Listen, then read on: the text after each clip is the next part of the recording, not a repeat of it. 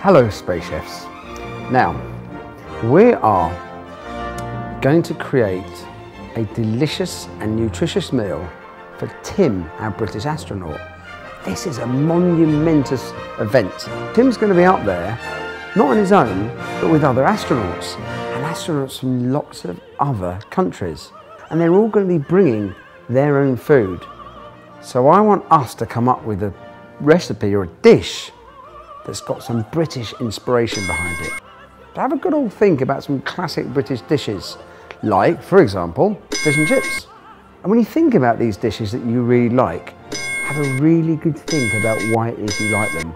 How about roast beef? Sunday lunch. I love a Sunday roast.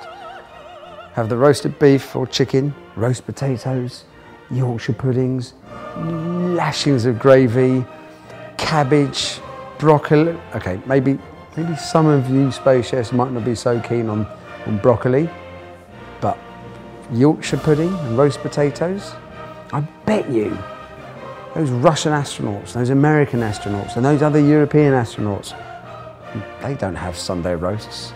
So what if Tim could have a Sunday roast? But remember, space chefs, it's very different all the way up there in this International Space Station.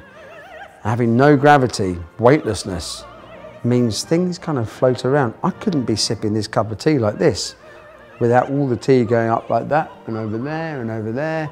Packaging might be a little bit tricky, but doesn't matter. Just think about bringing a real sense of Britishness into our special meal for Tim. Cheers, Space Chefs.